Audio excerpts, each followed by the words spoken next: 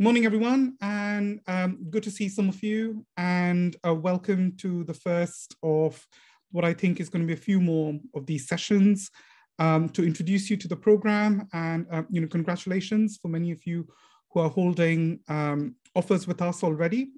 Uh, this is one of our most popular programs um, in the school, uh, the MSc in Creative Industries and Cultural Policy. So what I was hoping I would do today is to give you a little bit of an overview of what the program is like, introduce you to myself, uh, tell you a little bit about what you can expect from this program, and then in the end, we can take some questions and answers. Um, if it's related to academic content, um, I'll be able to answer that. If it's a bit more administrative, admissions related, I've got the lovely Shona with me who will be able to uh, take on those uh, questions for you. So just a little bit about myself. Uh, so my name is Dr. Rohit Dasgupta, and I am the program convener for this uh, uh, program. Um, I'm an interdisciplinary scholar, as you can see, and uh, very broadly, my research interests are quite varied. Um, so I've done quite a lot of work, um, especially around South Asia, um, looking at the role of communication for social change, um, I'm very interested in the cultural industries, uh, specifically in the film industry um, and also in the fashion and textiles industry. Um, I've also done uh, work on digital cultures, on identities, and also on the role of uh, communication and media in politics. And more broadly speaking, kind of my own background has been uh, in politics with quite a lot of involvement in policy development and implementation, um, which um, you know I'm, I'm, sure is something that all of you are quite interested in. So what is this program actually about? Uh, so this is quite an interdisciplinary program and we get um, students from very different backgrounds. So we get students with backgrounds in humanities and cultural studies. We get students with backgrounds in uh, social sciences like sociology, anthropology, and so on. And we also get quite a large number of students with a background in business and management studies. So in a way, what we try to do with this program is to give you um, the interdisciplinary grounding that is required in kind of understanding, uh, you know, what is the role of uh, culture and cultural policies in the, the kind of the broader um, economic and cultural policy forces that is shaping uh, the creative industries on an everyday basis. Um, the program itself is quite hands-on, so it's quite theoretical. So you're going to learn a lot about it from an academic perspective, but at the same time, and understanding, you know, what is what is cultural production? What is the role of cultural production in today's everyday world? Um, and at the same time, uh, we are also going to give you a grounding in what is the reality looking like of working in the industry? What does policy development look like? Um, you know, who are the policymakers who are making cultural policy and why is it important for us um, in today's contemporary world? Uh, the program itself is um, uh, divided across three semesters. So in the first semester, you're going to do a core course with me called Creative Industries and Cultural Policy, which is going to set out some of the key issues um, some of the key concepts uh, that uh, you're going to be using um, for the rest of uh, this program. At the same time, you're going to be also taking two courses from uh, the Adam Smith Business School uh, called Managing Creativity and Innovation and Project Management. Um, the student feedback on these courses have been quite good. And again, kind of going with the interdisciplinary ethos of this program uh, to make sure that, you know, at the same time, you're also getting those very useful project management, uh, innovation and creativity skills uh, in order to kind of, again, you know, go out into the world and, and work within these industries. Um, in the second semester, you're going to be taking um, a course called Creative Lives and Cultural Industries, which is going to introduce you to what is it like working in the creative industries itself. Um, and we get quite a lot of guest speakers as well on this course. So again, you get people from, um, you have a lot of policy workshops where you have people from the crafts industries, from the fashion industries, from the screen industries, uh, talking to you about their experiences of working within those industries um, and, and you know, what are the kind of the main and key things to be aware of um, you will also be taking an optional course in your second semester. And um, in, in, in, the next few slides, I'll show you the list of optional courses that you have. So you only take one, but there is actually quite a good list of uh, uh, different options depending on what is your area of interest. Um, and at the same time, um, as we've had this year, um, some students are able to, you know, if, if it's not on our list, but if it's if it's a course that is taught in the second semester in the school or in the college, sometimes it is possible to also take that where we kind of have a, one-to-one um, discussion with the course convener. So, you know, as uh, you are kind of deciding what to do um, you know, it would be a good idea to also kind of maybe explore the college more broadly and see if there are any other courses that might be specifically you will be um, interested in. The other course that you will be doing across your semester one and semester two is a research methods course. The research methods course is really important again, because it's going to give you those vital skills and tools that is required in order for you to then undertake the kind of the major piece of work um, that's going to be sort of your crowning glory in this uh, program, which is your dissertation, um, which is an independent piece of research that you're going to be doing um, on a particular topic that is of interest to you. And again, um, in, in my slides, I've got some of the very, very diverse nature of topics from students that we have supervised um, over the last few years. Um, in terms of research methods, um, you know, uh, students kind of always ask us, you know, what kind of methods you will, will I be learning?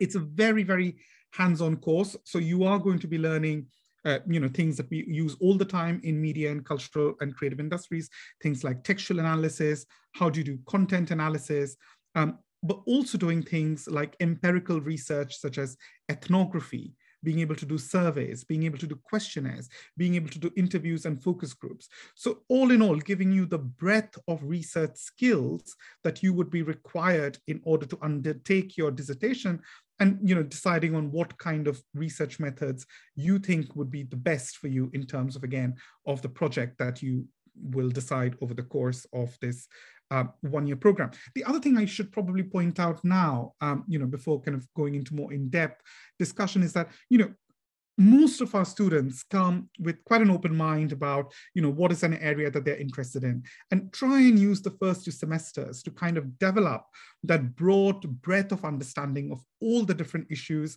and all the different sectors within the creative industries. And then you could decide what um, you feel would be um, you know the most um, relevant for you and for your future and what you think would be um, uh, interesting for you in terms of what you want to get out um, of this program and as you kind of move into your career. Uh, but also, we do have some students who kind of come in with a full-fledged idea that, you know, this is what I want to work on. This is the industry that I'm most kind of keen on. Um, and again, you know, it's, it's, it's, it's about making sure that we are able to support you and develop you as you work towards the mm-hmm. big piece of program. Um, the thing to also remember is that for a lot of students, um, you know, the, the dissertation is also quite important because, you know, when you're going out into um, the kind of the employment world, um, it's, it's, it's, it's a major piece of project that you've undertaken where you've done your own independent research, come up with your own research questions, and then you've kind of, uh, you know, uh, um, answered those questions. What I'm going to do now is quickly tell you some of the uh, different optional courses that we have. So as I said, um, we've got optionals that is um, across the entire uh, uh, college, but also from outside the college. Um, so we've got courses offered by the Adam Smith Business School. Again, um, if that is an area of your interest, so you can take optionals in uh, courses like digital transformation, internationalization of small and medium enterprises. If you're interested more in understanding some of the very key issues of copyright and intellectual property um, related to the creative industries, uh, you would be interested in intellectual property law. The thing to also mention about intellectual property law is you do not need a background uh, in law of any kind to take on this course. And that's because this particular course has been written uh, with um, uh, non-legal students and for creative and cultural industry students particularly in mind. So, so, so a lot of what you will be hearing from intellectual property law is going to be more geared towards issues of media, issues of culture and creative industries. Um, at the same time, we also offer some optional courses within the school. Um, so one of our most popular ones over here is issues and audience management, understanding um, uh, you know, how audiences work the, the changing nature of audiences, especially with COVID. We've seen how um, different creative sectors have uh, risen up to the challenge and are finding new ways of engaging with um, audiences, whether it's, um, uh, you know, uh, audiences and kind of physical things like theater, but also thinking about audiences in terms of, you know, the, the, the kind of the big boom that we've seen within uh, streaming platforms and so on. Uh, we also have a really, really um, interesting um, uh, optional course called Festivals, which is offered uh, by the school. Um, we, it, it's again a quite a popular course. Um, we managed to get a few seats on it all the time because of how popular it is, and not all students kind of manage to get the, get their first preference. So I would always say you know, have a quick think about what kind of optionals you are interested in and, and, and make your kind of interest in it known quite early um, because some of these get filled up pretty soon because of, again, uh, the, the, the large interest that we get from students. But as I said, in addition to these optionals that is part of this program, if there are other optionals uh, in the semester two that you've seen that uh, the school is offering or the college is offering um, that you think you might be interested in, um, it's always a good idea to get in touch with me quite early on and telling me that, and then I can have a discussion with the course convener to see if it's possible for you to then take on the course. Sometimes it's possible, and we have had some successes in, the, in previous years. Sometimes because of um, timetable clashes, it might not be possible. Um, so again, have a look at these courses, but also if you're interested, you could have a look at other things that's offered by the college. In terms of the teaching format for each of our courses, they're going to last about 10 weeks. Um, and this includes uh, uh, seminars, guest lectures, uh, tutorials, group work, presentations, as well as academic writing support. Um, so, so a typical 30 credit course would be equivalent to around 30 hours of contact teaching. Um, and that would be both kind of, you know, all of these lectures, seminars, guest lectures, uh, tutorials. You will also be able to have um, quite intensive tutorials with your um, lecturers when it comes to things like your assessments. Uh, assessments. Uh, and all lecturers also have weekly office hours for around two to three hours. Um, and it is possible for you to book a time with them um, and have a one-to-one -one meeting as well. So again, um, the, the idea is to make sure that you have a good range of different uh, teaching methods. In terms of our assessments as well, um, it's quite diverse. Um, so in addition to essays, um, reports, and presentations, we also have oral methods in, in some of the courses. So again, you can have a quick look, if you want, through our um, uh, through the different courses, and you can see uh, what are the different kind of um, assessment methods. As far as I understand, um, none of our courses have any exams attached to it. Um, at, uh, I mean, some of the optionals might, uh, the ones that we, that's not part of our uh, list, but uh, but you might want to just have a check on that. But but as far as the program is concerned, um, our programs don't have any exams. It's all uh, via essays, reports, and presentations what I'm going to do, uh, thought I would be quite interested for you, interesting for you, is to have an understanding of what a typical um, course would look like. So this is a course that I convene in the first semester, uh, which is the core course, Creative Industries and Cultural Policy. Um, now, as you can see from this particular um, list of topics, they are quite varied. So, and, and you also have different guest lecturers and instructors who come in and speak, uh, speak on it. So the way I have broken my uh, CICP course is in three bits. So the first bit is the academic lectures, which is what you see over here. The second bit is industry and policy speakers. This is, uh, I'll, I'll, show that to you in the next slide. So we get quite a lot of really high profile industry speakers and uh, policymakers coming and speak to, speaking to us. And then every week you also have a seminar. So the seminar uh, seminar teaching is small groups of students where you know uh, we we discuss the reading of that week, we discuss some of the key topics of the week, um, and you might also be given some exercises to do within the class.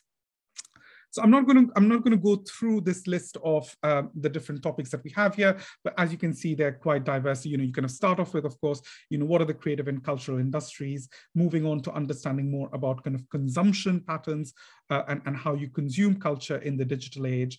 Um, then going back to some of the kind of the key concepts around globalization, cultural in, imperialism, the move from cultural industry to a creative economy, uh, the role of festivals in policy, um, followed by then you looking at and understanding things like the role of culture in regeneration, so the creative city and cultural um, quarter, the role again of socially engaged art, part, part of how um, government policy is geared towards using culture as a form of regen.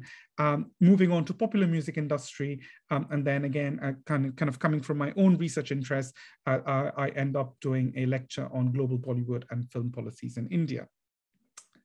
Um, as I said, uh, we do also have um, industry speaker, industry and policy speakers, um, really, really high profile people who come and speak to us about uh, their briefs and how they make policy. So we've had, for instance, uh, this year we had Lord Wilf Stevenson, who was the cultural advisor to the former Prime Minister, Gordon Brown, um, and also a past director of the British Film Institute.